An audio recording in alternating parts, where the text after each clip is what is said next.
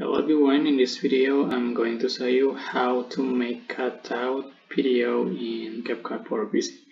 So here uh, I was import some photos here and then I want to add four photos to a drag here and then we can adjust for duration.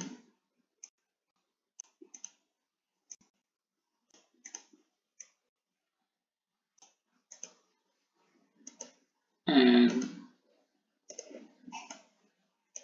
just for scale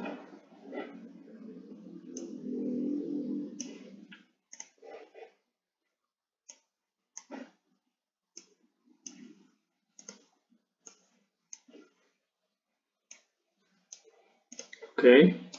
And then I want to add one photo with green screen like this for example. And then uh, click cut out. And then click key click color picker. And uh, choose green screen. Just for string like this.